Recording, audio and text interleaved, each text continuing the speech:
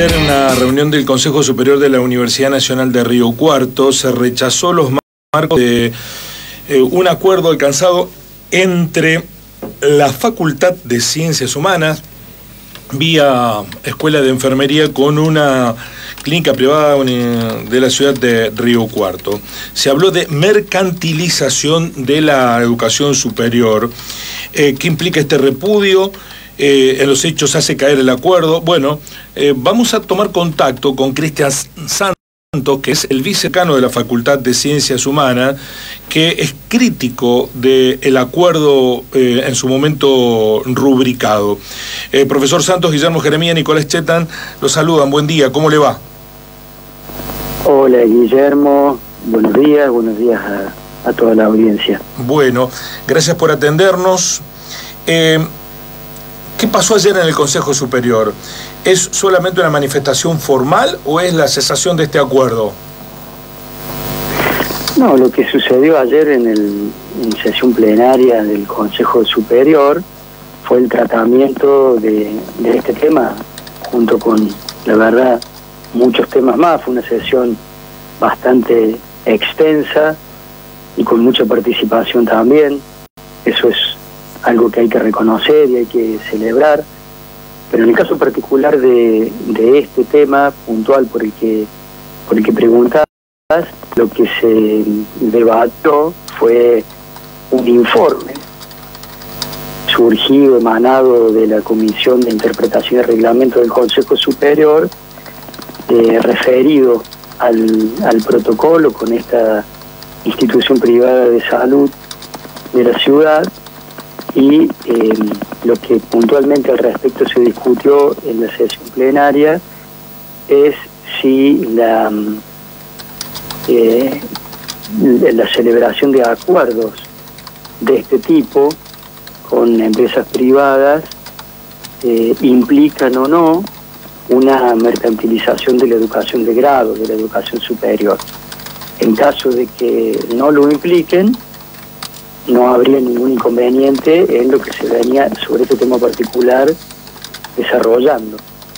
Por el contrario, si este tipo de acuerdos implicaban una mercantilización de la educación de grado, de la educación superior, eh, pues bueno, habría que eh, ir hacia atrás con esta, con esa gestión y buscar una instancia superadora, una instancia que, que permita subsanar esta, esta restricción. Y esto fue lo que en sesión plenaria, esto último fue lo que en sesión plenaria, y permíteme también eh, hacer énfasis en esto, de manera unánime, de manera unánime el Consejo Superior entendió que eh, acuerdos de este tipo efectivamente implican una mercantilización de la educación de grado, por tanto eh, estarían en colisión con el artículo 2 bis de nuestra ley de educación superior de nivel nacional. Concretamente, eh, el Instituto Médico le pagaba a la Escuela de Enfermería, ¿por qué servicios? Bueno, lo que se establecía en ese, en ese acuerdo, en ese protocolo de trabajo, era el, el dictado de, de una carrera de grado, por eso menciono lo de la ley de educación superior, que eh, permíteme en el medio de la respuesta algo que eh, me parece que es muy, muy importante de tener presente, porque no, no, es justo que terminemos en el medio de, las, de los debates muy necesarios y de las aclaraciones pasando por alto hay un hecho que nos, llena de orgullo y de reconocimiento institucional a toda la comunidad académica de la Escuela de Enfermería. La Escuela de Enfermería, o mejor dicho, el plan de estudios de la carrera licenciatura en Enfermería, es un plan de estudios prioritario a nivel nacional, reconocido por CONEAU y acreditado por seis años a nivel de Mercosur. Es verdaderamente una carrera que nos llena de, orgullo por, la calidad que tiene. Esto se puede ver ustedes, la audiencia. si ha tenido alguna dificultad de salud y ha tenido que ser atendido por algún enfermero, algún enfermero formado, formado en nuestra institución, habrá dado cuenta de la calidad de formación que, que nuestros graduados nuestras graduadas tienen y nuestros estudiantes actualmente en curso tienen. Y me parece que es un hecho que no hay que, soslayar, eso mismo sostuvimos ayer en el, en el Consejo. Entonces, puntualmente, y ahora sí, respondiendo la pregunta que, que me formulas, es en el marco de esta carrera que se, eh, bueno, que surgió esta propuesta, este acuerdo entre esta institución privada y la escuela de enfermería, que también entendemos los, los fundamentos, los trabajadores, las trabajadoras de las instituciones de salud en el, en el sector, en el área de la enfermería, tienen muchas restricciones horarias, ustedes saben, en algunos casos atendiendo más de una guardia por día, entonces se le dificulta eh, por este motivo el acceso a eh, la, la carrera, en este caso, que se dicta en nuestra institución con, las condiciones y todas las características que, con las que se dictan en nuestra institución, que fueron las, las acreditadas. Entonces entendemos ese, esa necesidad y ese fundamento, pero eh, bueno, volvemos a esto que decimos al comienzo, por la ley de educación superior, que es la que nos ampara, y no solamente esta normativa a nivel nacional, sino también nosotros hace cuatro semanas, también se hace un plenario del Consejo Superior, ratificamos, ratificamos lo que establece ese artículo 2 bis y lo que se eh, debatió de manera eh, muy, muy abierta hace cuatro años en la Conferencia Regional de Educación Superior celebrada en la Universidad de Córdoba, a propósito del bicentenario de su eh, de la de la eh, reforma universitaria, que justamente la educación de grado, la educación superior es un derecho humano. O sea, nuestra universidad hace apenas cuatro semanas eh, había ratificado lo definido en aquella conferencia regional. O sea que la verdad es que eh, esto que se discutió ayer excede al caso puntual, lo incluye, lo incluye el caso puntual de este acuerdo, pero lo excede porque es un posicionamiento político que la, nuestra universidad a través del Consejo Superior ya viene teniendo. Y hace muy, muy poco tiempo, como te mencionaba, hace apenas cuatro semanas lo había hecho. Cristian, eh, le repregunto respecto a esta cuestión, ¿por qué se veía la mercantilización? ¿Cuál era, eh, lo abro comillas, el negocio? Bueno, porque en el, en el protocolo que se, que se había este, propuesto, se implicaba, se establecía una contraprestación por parte de la institución privada. Esto es lo que eh, entendemos violenta el, el, artículo 2 bis. Está bien. A ver, a ver si entendí.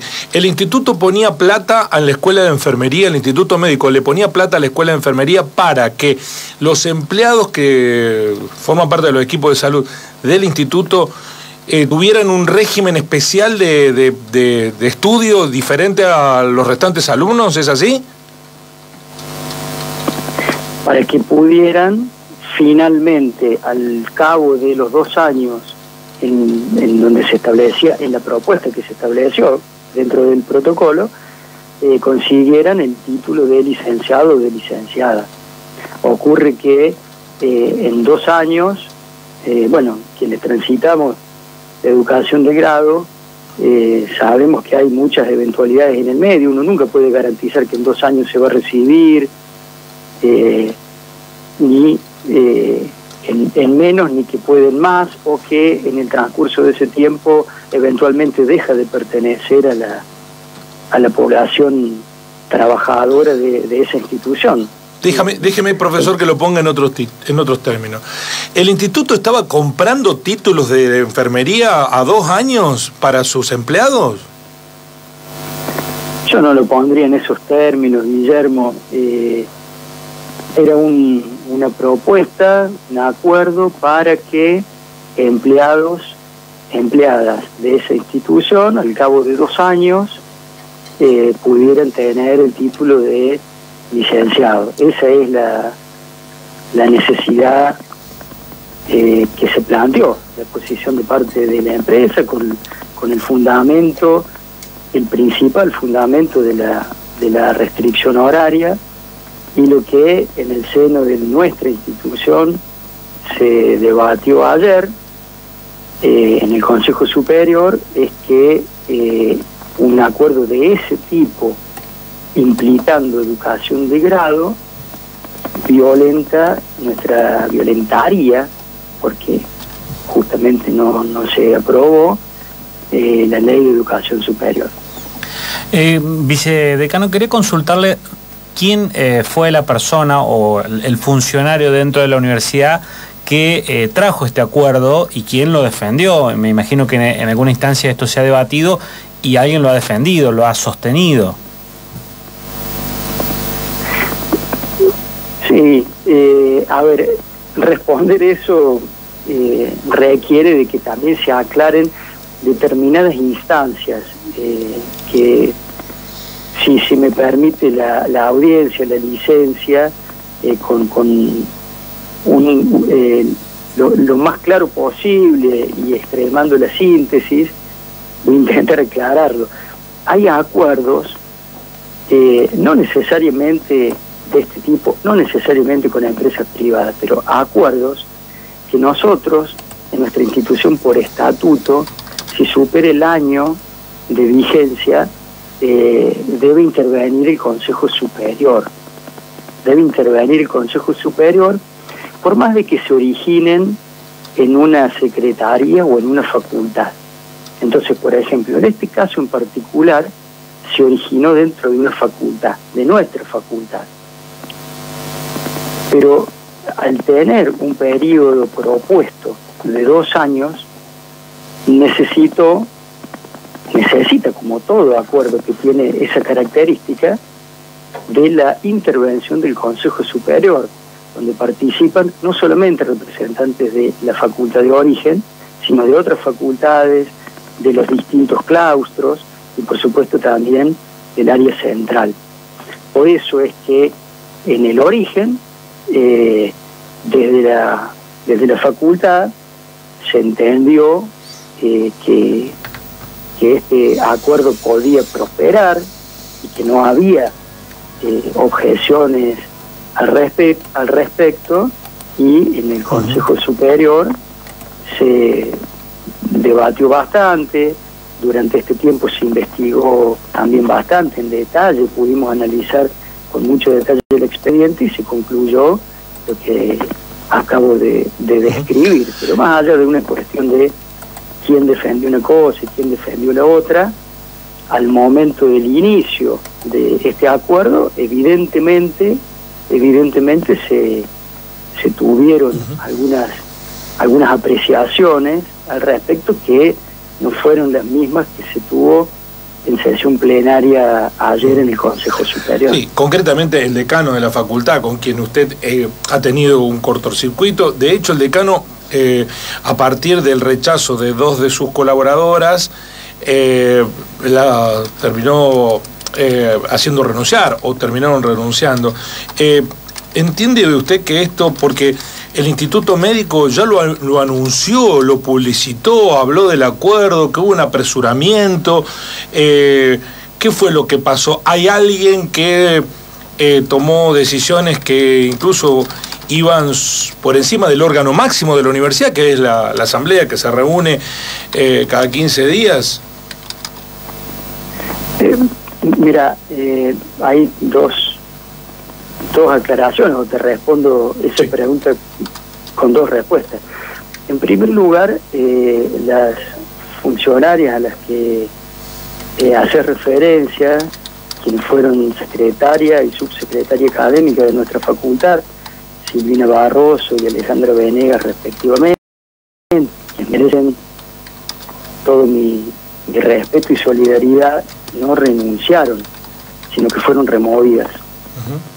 y, en segundo lugar, eh, yo la verdad es que lo que lo que celebro es que la universidad toda, reitero, eh, haya podido, eh, con todo el tiempo que tuvo para hacerlo, analizar de manera muy detallada este caso, sin ningún apresuramiento, eh, sin dejar ningún aspecto a considerar, a debatir y a discutir, y, lo ha hecho como, como debe hacerse una situación de este tipo en un acuerdo de más de un año que requiere de la definición por parte del Consejo Superior. Así que eh, yo lo que celebro es eso, que los mecanismos institucionales funcionaron y que se permitió a todo el mundo exponer su, su punto de vista, se hizo libremente, se debatió, se votó y se resolvió. Y me parece que es lo importante. Y respecto del tiempo también, eh, porque eso lo, lo mencioné ayer en mi participación, eh, tenemos 80, casi 80 personas, 80 familias que están esperando, que han estado esperando durante este tiempo eh, una definición clara. Y necesitan también, siguen necesitándolo, una explicación clara de por qué se discutió lo que se discutió y por qué se resolvió lo que se resolvió.